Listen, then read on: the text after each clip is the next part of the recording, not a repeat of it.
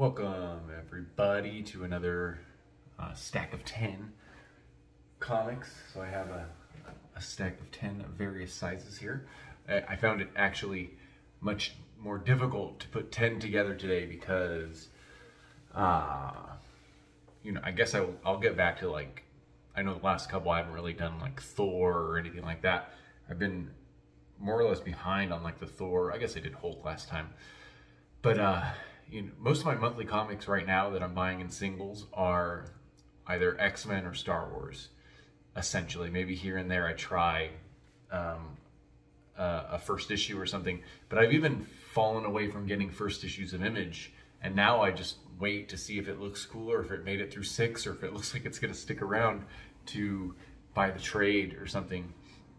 Um, so yeah, and uh, you know, I could talk about X Men if there was something specific to talk about, but I think X Men would be funner, more fun to talk with someone about that's also reading it, rather than just you know get into the the meat of what's happening in Star Wars X Men. Although sometimes I will still show it, but I haven't lately. So I actually I've had trouble because otherwise I'm you know reading things that are a bit thicker, um, and then the other other part is you know I'm reading a lot of still reading a lot of digital stuff or reading even more and there's some interesting stuff too there, but you know, I want to be able to hold the book and talk about it and whatnot.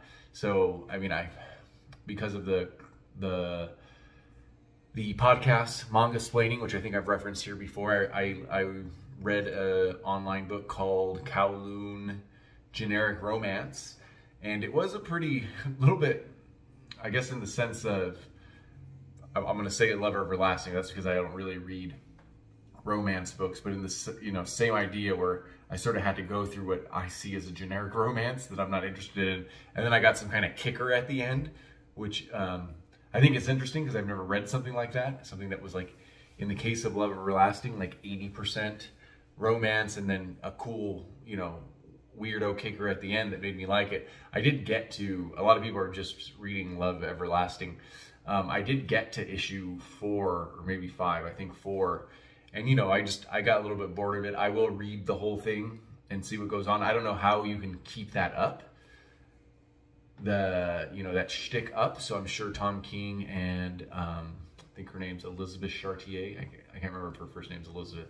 Last name's definitely Charretier. And uh, I don't know if you can keep that up. Um, and so Kowloon generic romance is the same. So set in some alternate history of the uh, wall Kowloon walled city. Um, that's uh, people have a lot of interest in, uh, but um, um, but yeah, it was enough of a curveball at the end that I, you know, I'm going to continue it in some fashion. Uh, I've started trying to make it so that I get my money's worth out of uh, a lot of these digital platforms that I pay for. So I, I you know, I pay for DC, I pay for the Marvel one, I pay for Comixology, and I pay um, pretty cheap for Shonen Jump. So I've started deciding to um, track that, and I don't know how that's going to work into like these reviews because I do want to hold it. And uh, but I've been recording these on my phone since my my computer, my non-work computer, is is a little bit slow now, and uh, you know I don't have enough reason to buy a good computer yet.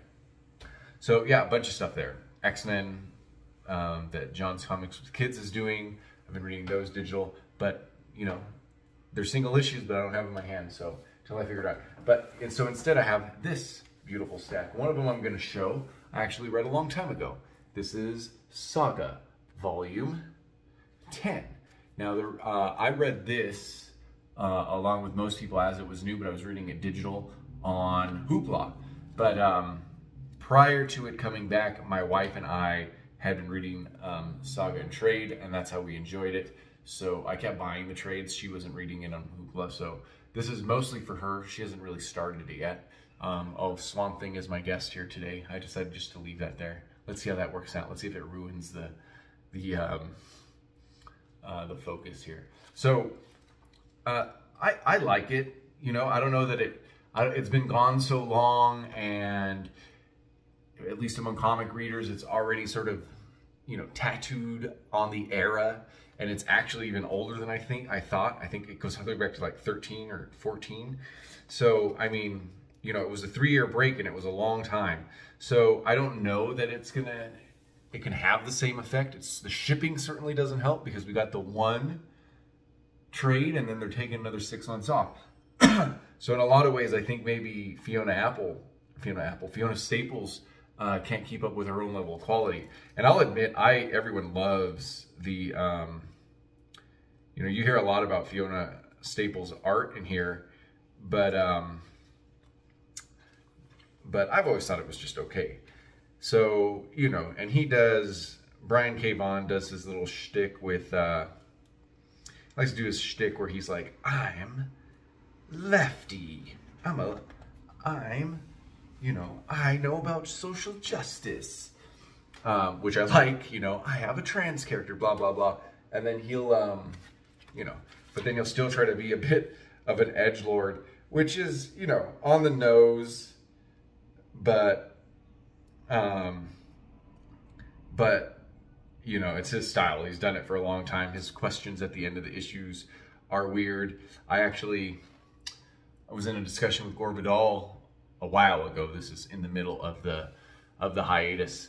And um, you know, he was talking about the questions which I did not know about, or if I did, I never read them and just was I passed on from them because I was reading them in trade. Uh, and then I found I found a couple people answering the questions, which I think is cool enough to do. I mean, I didn't find them as weird. I think they were very personal, but you can choose not to answer them, right? But I mean, he does something like, man, I hate unnecessary violence. So this is the bad guy in it. I told you if I told you if you just be chill, you and your other people are going to get out of this healthy, wealthy, and wise. But if you don't show me some skin right the fuck now, I'm going to haul your kids up here and rape them to death in front of you. And then, oops, I probably should have thrown in a trigger warning, huh? Um, you know, and I remember when that happened, that was a, uh, you know, that was quite the ending for some people. And I will say, if I would have read this in trade, I probably would have went right past that, um, go, oh, that was dark, but went to the very next page. Is actually clever, uh, the way that they, you know, pretty clever the way that he got around that because I will admit I go, well, how's she getting out of this? you know.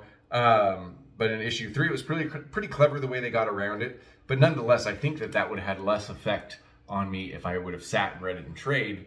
Um, and that's not only you know effect from the actual writer, but what he was looking for, uh, which is a reaction. And I certainly in our little community, I heard um, a ton of reaction from it.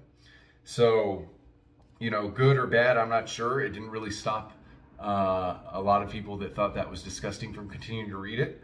And uh, apparently we've sort of moved on from it. And, uh, and we're, you know, back waiting and talking about more about the uh, shipping issues than we are anything else and the break. So it was good. Uh, I don't know that, I don't know that Saga can have that same effect. Even if it does get to the same quality, you know, there's a little bit less surprise and um, there's definitely not less interest because supposedly that, that comeback issue sold more than any issue or shipped more than any issue uh, for the entire series. So, um, and he has an idea in the, you know, he knows how it's going to end. He has an idea. And so, well, we'll see. There's still a lot of time before we get to that idea and who knows how much it'll change. Um, so I have started trying to read as much Alan Moore as I can um, in the close of this year. And I mostly, when I thought, oh, I'm going to read Alan Moore at the close of this year, I was thinking of the stuff that I've already read and has affected me and is one of the reasons why he's my favorite writer. And, um, you know, maybe I should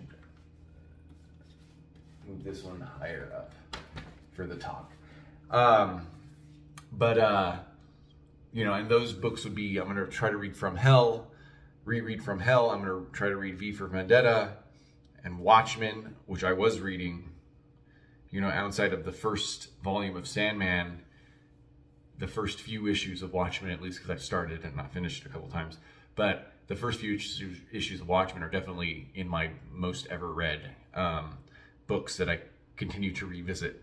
I almost might skim the first couple issues when I reopen it up because I'm not, I've probably only read I probably only read like the last three twice, last four twice.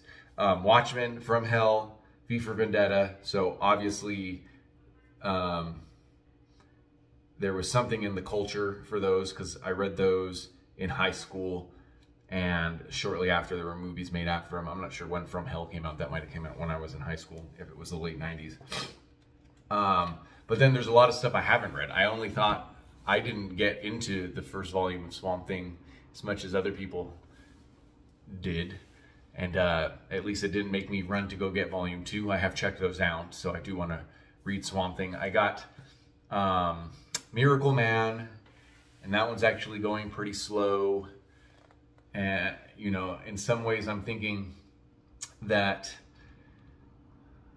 um, some of that earlier stuff, you know, maybe might not have as big effect on me when I've read things like um, Watchmen, of course, but V for Vendetta and From Hell. Um, and those things are a little bit more in my wheelhouse too, I think, than something like Miracle Man. Um, the other thing that makes me worried, and I guess I'm going to jump before I talk about this book specifically, is I want to read the so the books I bought with my own money, which was you know a few years after high school, which seemed new when you compare it to the stuff that he was writing in the 80s and early 90s, are all the ABC stuff.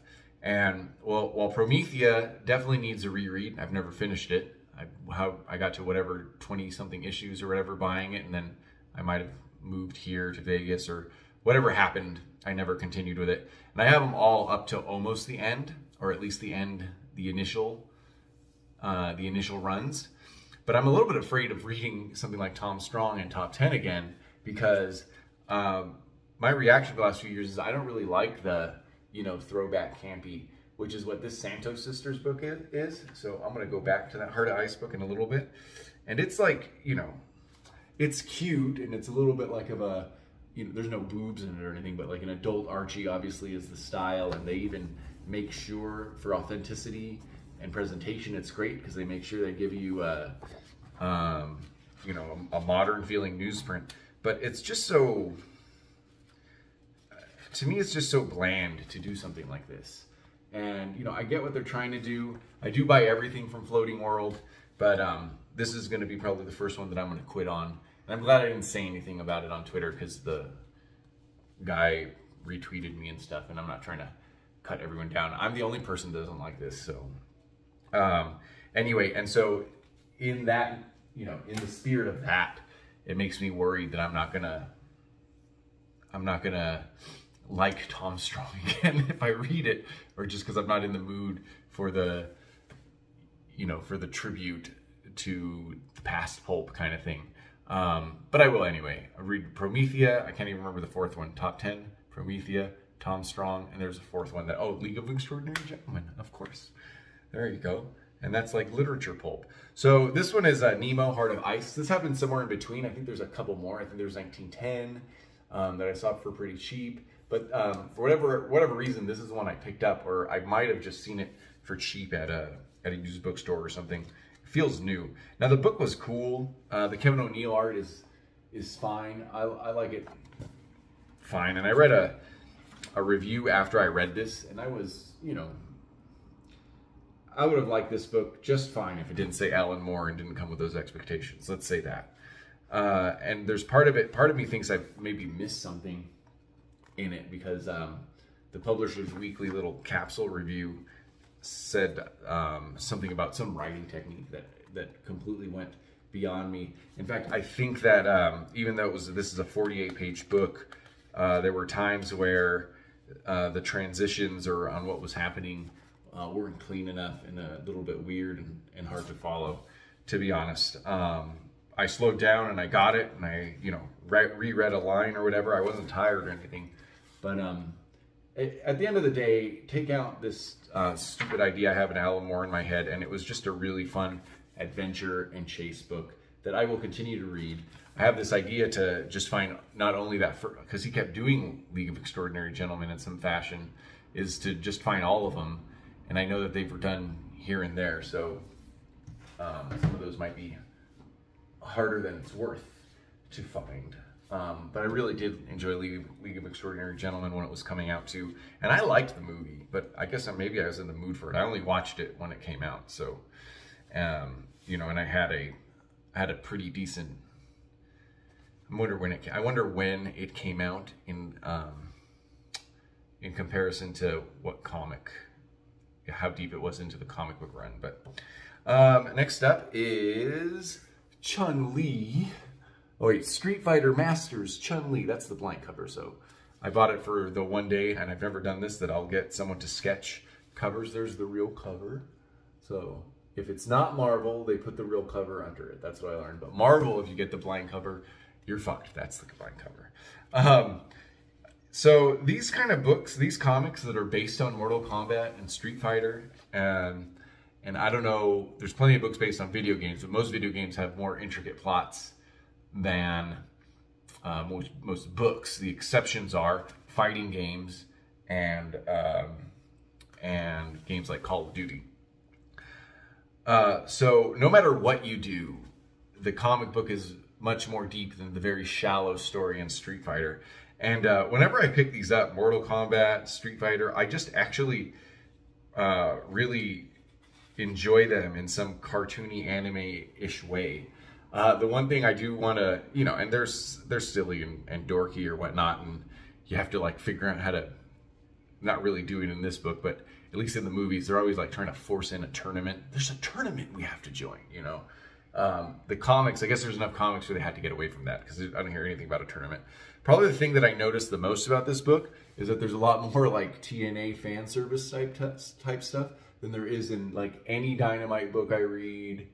Um, wait, you know, even more than those Lady Death from Co Coffin Comics, which you expect there to be, but there's just a whole bunch of it here, you know every opportunity they get, they're uh, drawing Chun Li or you know provocative poses. Good for them, you know. Good for good for these chicks. But um, it was noticeable because it was through the whole book. Uh, but the book was action packed and fun. Uh, you know, a little, a nice little, nice little arc for Chun Li to have learned a lesson. Um, this this happens way beyond some stuff that has gone on in the comics for a while, like M. Bison is defeated and she thinks he's back alive, and the little terrorist organization um, has come back together somehow, sort of Hydra style, many heads kind of thing.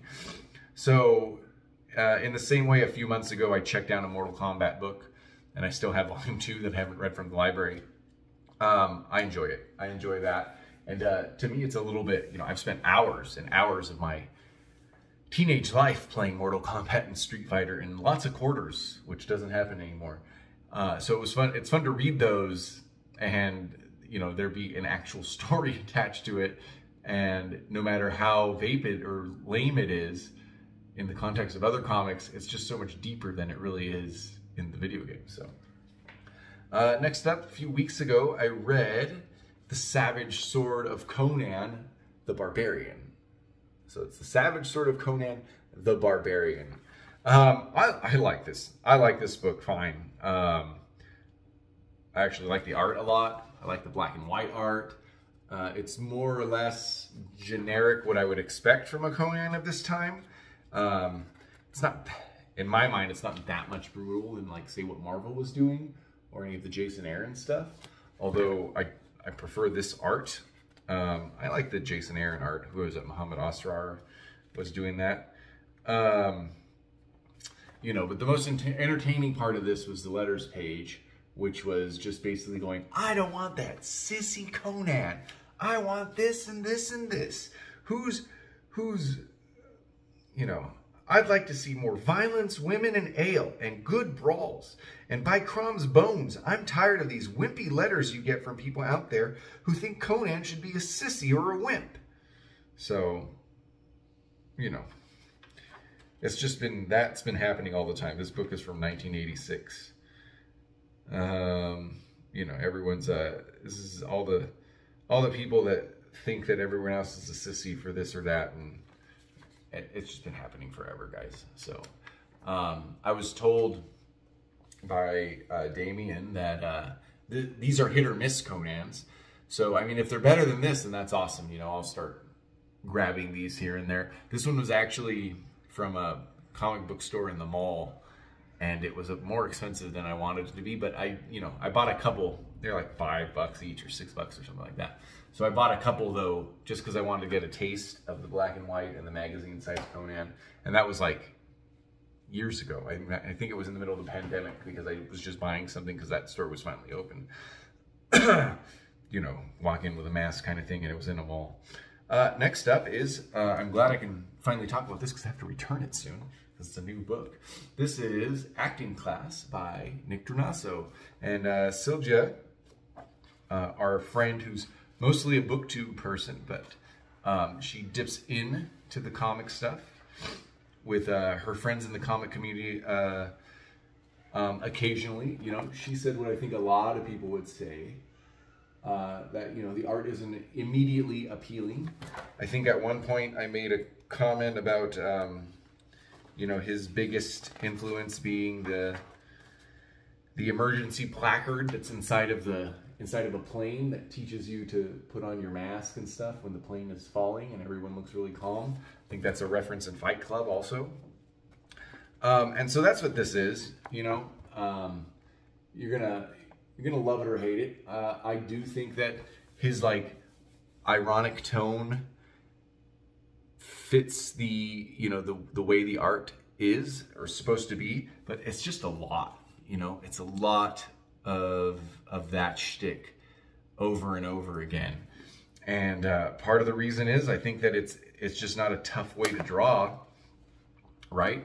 Even though you have a whole bunch of panels and a whole bunch of work on it, that you can you can churn out a lot you know and the premise of this is that a bunch of people own a, uh, a bunch of people join an acting class.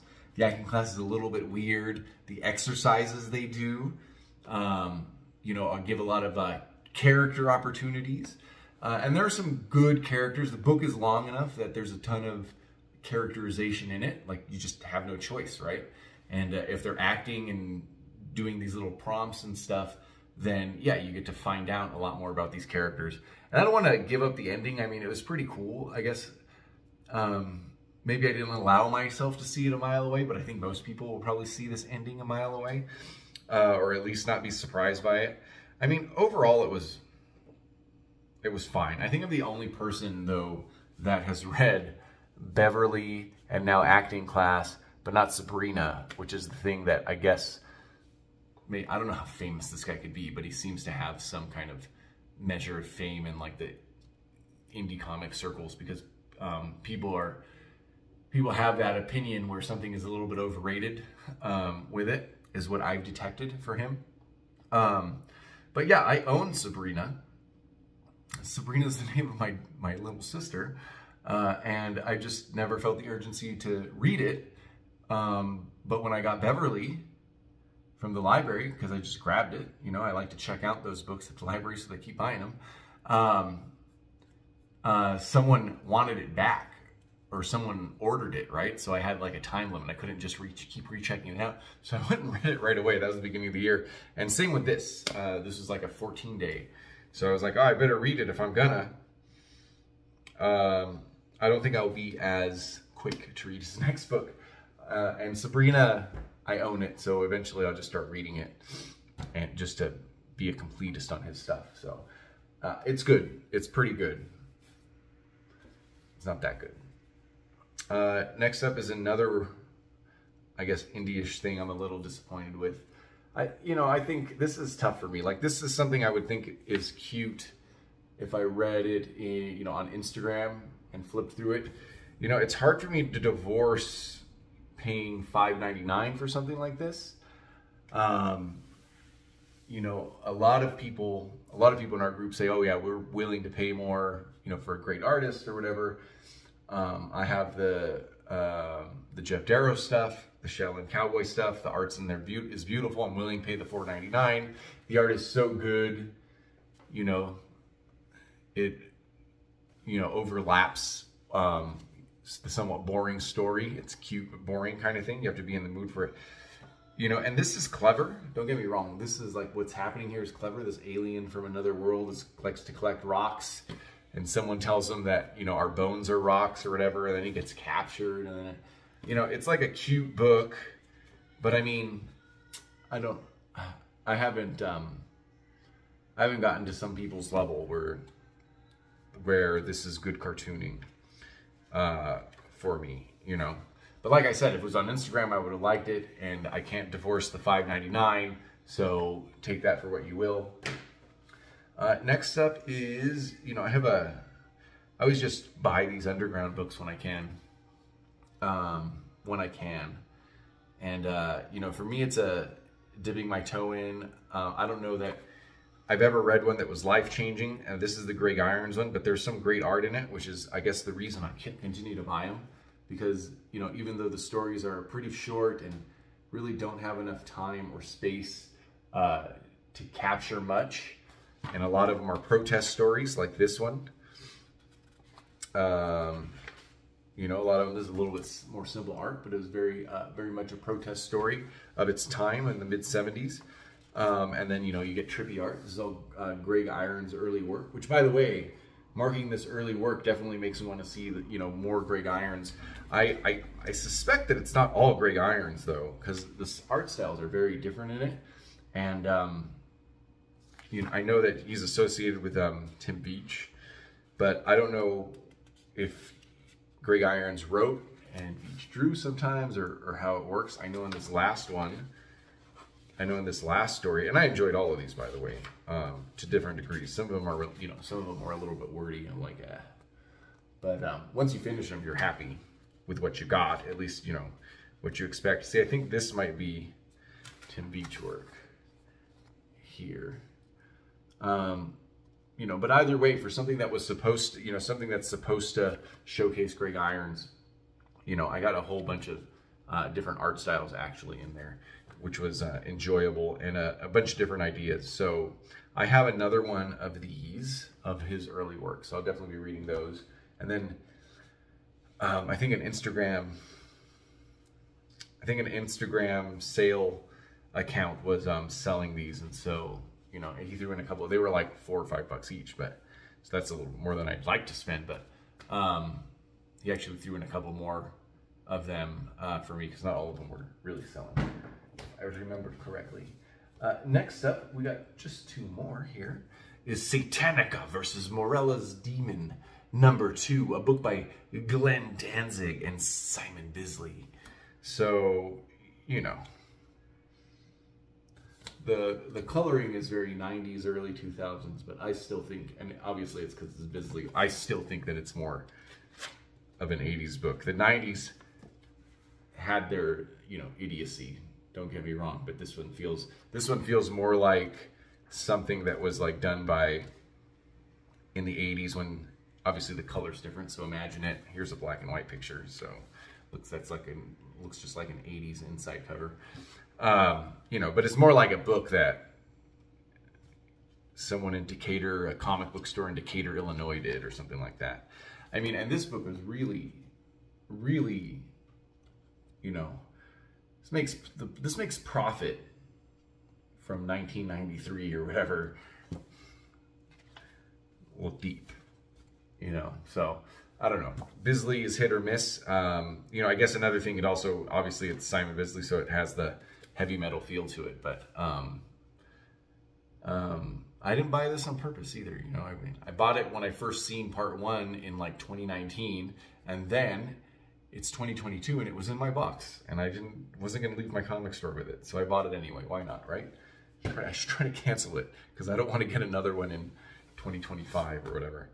And last but not least, I could have swore I talked about this, but I guess not, or maybe I did, and I'll talk about it again, is uh, Beatnik Buenos Aires. This is um, from Fantagraphics. This is this is a Fantagraphics book you can find for like eight bucks used. Um, so maybe it wasn't their, uh, you know, wasn't their best choice to print. Uh, I'm not even sure if it's from the Underground imprint. Looks like it is. I think that symbol is the Underground imprint. Um, you know, but I read this, uh, you know, I read this raw without reading the introduction. And so nothing fit and, you know, things were very much like anecdotes and whatnot. I love the art, but you gotta, when you're, when you're, uh, reading black and white art like this, you really do got to slow down a little bit. Um, and maybe if I had read the introduction before, I just didn't feel like reading an introduction at the time, I would have sort of got what was going on here. Um, some of it is a little too dark, but still good. I would have got what was going on here, but what this is is a, what this is is like a, I would say it's a companion to uh, um, a documentary called Opium. Um, uh, Beatnik Argentina. So yeah, Beatnik Buenos Aires. So Opium Beatnik Argentina, and it's really just a documentary about those writers and like the beatniks or their version of it um, throughout the 60s and 70s. And he couldn't fit every story in the documentary, is what he says, is what uh, Diego uh, Arandojo says, that he couldn't fit every story inside of the documentary. So these are a bunch of anecdotes and stories that didn't fit. And so that's why they're all ill fitting. And he just had um, uh, Facundo Facundo Percio. It's just really hard to read that font right there. Um, draw them. And yeah, they were good for what they are. They're just these little like vignettes. You know, they don't any have have any real plot. You know, not enough pages for any characterization unless I knew, you know, some of the writers or whatnot. But um, it was good, and it's and it's actually cheap online. So if you just want um, something that's more or less an anthology, but by the same people and about like a moment in time in Argentina, then uh, then it's probably worth like the, I think I've seen it for like eight bucks in shipping or something, five bucks in shipping. So definitely enjoyed it. I've been wanting to read this for a long time, but I think that I thought it was a a full story um, when I bought it or when I was planning to read it. Anyway, that's all I got, and I went uh, I went 30 minutes. Anyway, thank you guys for watching. I will see you later. Swamp Thing says goodbye.